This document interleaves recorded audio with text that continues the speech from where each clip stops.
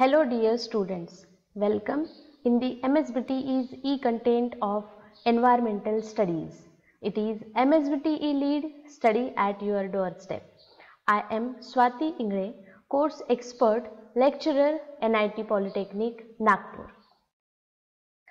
Today in unit number 2, Energy Resources, we are going to cover the topic Natural Resources. Course outcome Select alternative energy resources for engineering practices. Unit outcome list various natural resources. The learning objective.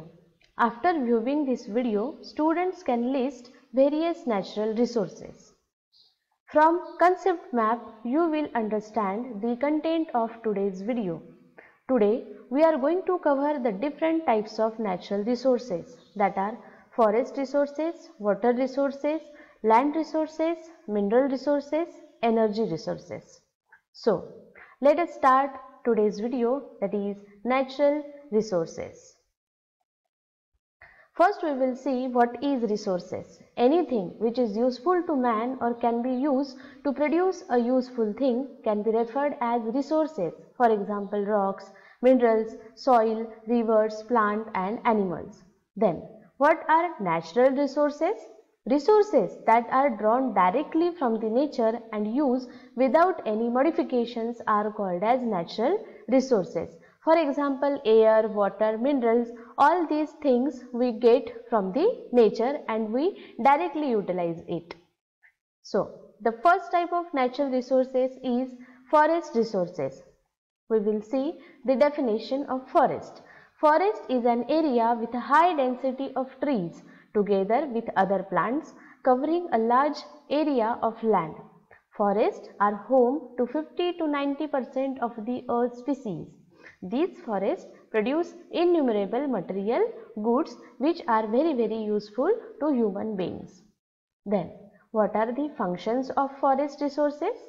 There are three important functions. The productive functions, protective functions and regulative functions. Let us see one by one. Productive function.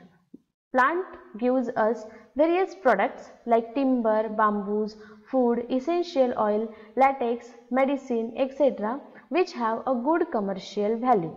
Protective functions. Plants means forest protects the environment in different ways like conservation of soil and water, prevention of drought, protection against wind, cold, radiation and it also absorbs the noise and hence control the noise pollution. Then regulative function, it regulates different activities like absorption, storage and release of gases, water, mineral elements means controls the food chain. Then the second type of natural resources are water resources. As we all know, Earth is known as a blue planet because 71% of the Earth's surface is covered with water. About 97% of the Earth's water is strong saline means it is present in the sea. It is salt water and only 3% is fresh water. When we talk about fresh water, 70% of the water is present in the form of glaciers means in the form of ice. And 29% of water is present as a underground water. And 1% is present in the rivers and lakes. From this it is clear that only 1% is pure and usable water means water is very very precious and we have to use it very carefully. Then let us see the importance of water. Water is an essential natural resource for sustaining life. Water is one of the most important substance on the earth. If there is no water, then there would be no life on the earth. All plants and animals must have water to survive. So, water is a renewable but limiting resource. Hence, we have to use it very, very carefully. Then, what are the uses of water? Apart from drinking, water have many applications like agricultural uses. In agriculture, it is used for irrigation, means watering the plants. Industrial uses. In different industries, water is used as a solvent, as a cooling agent, heating agent and many more. Household uses. In home, we use water for different purposes like cleaning, washing, bathing, making food, etc. Recreational uses. As we all know, we enjoy a lot in the water park and that use is called as recreational use. Then, the third type of natural resources are land resources. Land is among the most important natural resources. It covers up only 29% of the earth's surface. Land is a naturally occurring finite resource. It provides the base for survival of living beings. It holds everything that constitute terrestrial ecosystem. Then what are the uses of land resources? There are different uses. It is used as agricultural land. Agricultural land is typically the land devoted to agriculture. It is the land capable of being ploughed and used to grow the crops. It is used as habitat for animals and plants. Forest is a habitat for many plants and animals because it provides a suitable environment for them. Then, industrial and commercial area. Commercial area is generally reserved for businesses like offices, retail stores, restaurants, etc. Then, the next use is it is used as a residential area. Residential area means the land used as a permanent residence such as house, apartment, nursing home, schools, child care facility, etc. Then, the next very important use of land resources is that it is used as a waste disposal area called as landfills. Proper solid waste collection and disposal is important for the protection of the public health, safety and environmental quality. Generally, the garbage which is collected from the city is dumped away from the city in a special type of area which is called as landfill. Then the next use is mineral sources.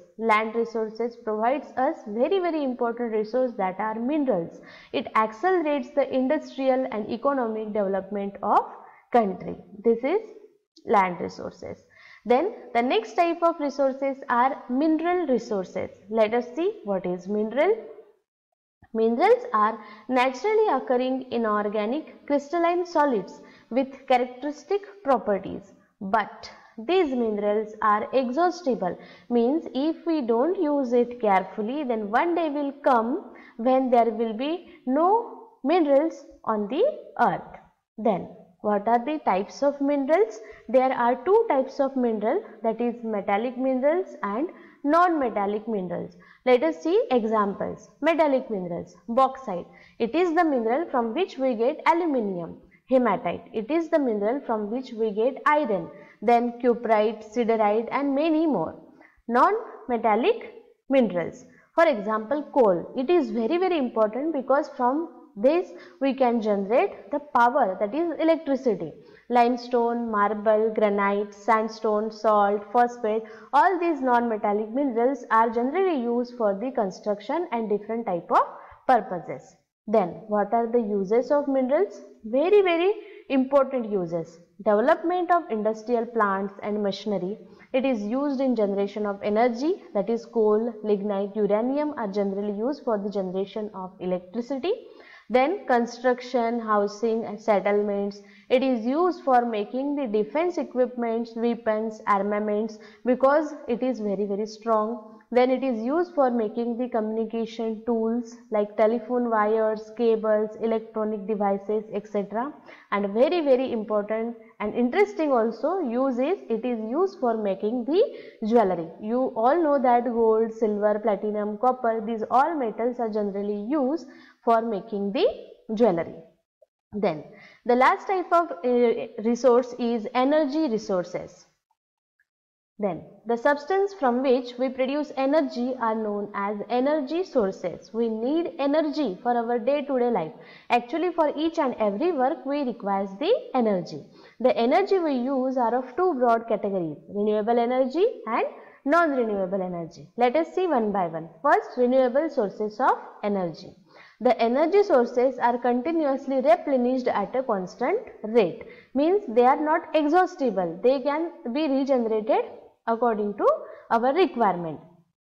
Then what are the examples? The solar power, energy obtained from sunlight. Hydropower is the energy obtained from the water flow. Wind energy is the energy obtained from the flow of air. Tidal energy is the energy obtained from the sea tides. Geothermal energy is the energy obtained from the interior heat of the earth's surface. And biogas is the energy obtained from the biomass. Then second type of sources of energy are non-renewable sources of energy.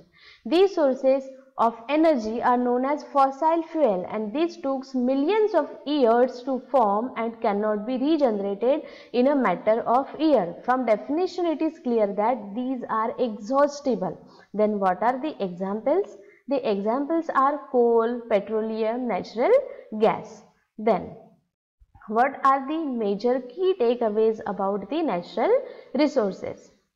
The knowledge of natural resources is very essential to understand its applications, global need and future demands.